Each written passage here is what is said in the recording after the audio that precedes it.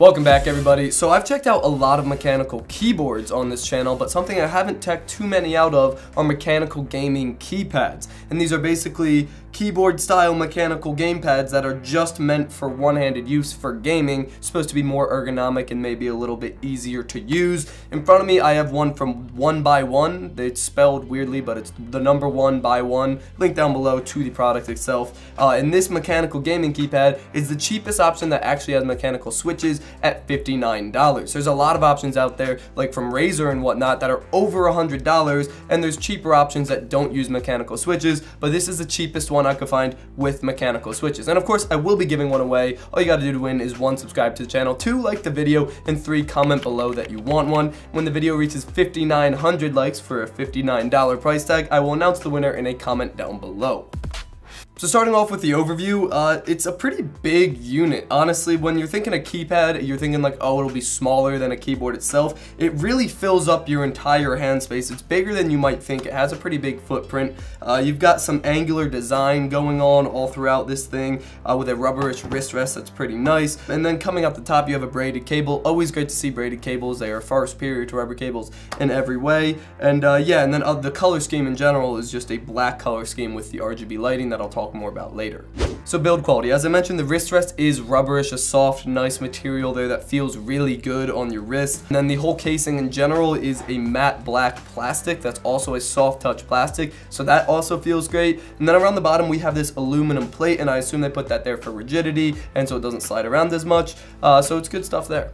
So moving on to key layout, normally I hate it when manufacturers change up the layout because uh, I'm so used to the normal layout of a keyboard and that's what my typing depends on. But with a keypad like this, where it's all about ergonomics and comfort, it's a little more excusable. So the spacebar right off the bat is really weird. It's a silver thing up here, but your thumb rests perfectly naturally on it when your hand is on the keypad and it works perfectly fine. Uh, but what's probably weirder is the shift and control key are one row higher than they would be on a keyboard, and that's weird at first and would be weird if you were typing on it, but again, because you're using it for gaming, it's okay. They got rid of the caps lock button uh, because you're going to be reprogramming these keys anyway, depending on the game you're playing. And you'll also notice that they, they include weird keys, like we have the P key, the B key, and the G key over here, all of which would not be there normally on a keyboard, but the point is those are there because those are keys that are normally used in gaming, and those are there because you're probably going to end up reprogramming them anyway, depending on the game you're playing. So interesting key selection, and the layout is definitely weird, but that's not necessarily a bad thing on a gaming keypad like it would be on a regular keyboard.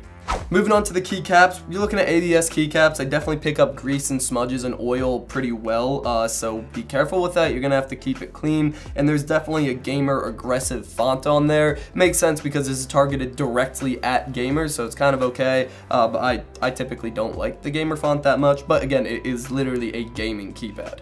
So moving on to lighting, it does have RGB LED lighting in here. To cycle through the presets, it's just escape and the 1 through 6 key. They have all the normal presets in there like uh, wave and fade and reaction and like explosion. Like all that kind of stuff is in there and the presets are great. They get bright enough especially to see in the dark. The software they have for this is for Windows and I have a Mac so I haven't tested it but from the reviews I've read and the research I did it's a very bad software so probably just stick to the presets. And then the weirdest thing about it all is that the lighting out here is just red. Like you can't change this lighting. Doesn't really make sense that they make it programmable RGB lighting if you can't change this side lighting. A little bit annoying, but you know, I'll deal with it. And moving on to the switches, they're using Kailh Blue switches in here, and Kailh was one of the first Cherry MX Blue clone companies, and the blue switches feel just like the Cherry MX Blue switches. So good stuff there. Uh, that is what made this specific option enticing is that it's mechanical at this price point. So it's good that they included some pretty good mechanical switches in there. Normally this is where I would do a typing test and a sound test because it's always good to see how fast you can type on keyboard and what it sounds like when you're typing. Can't type on this. Obviously it's not a full keyboard whatsoever. I will still give you a sound test so you can hear what it's like while gaming or something. Uh, so I'm just kind of gonna use it and you can listen. You can see the mic pointing down to pick up the sound a little bit better.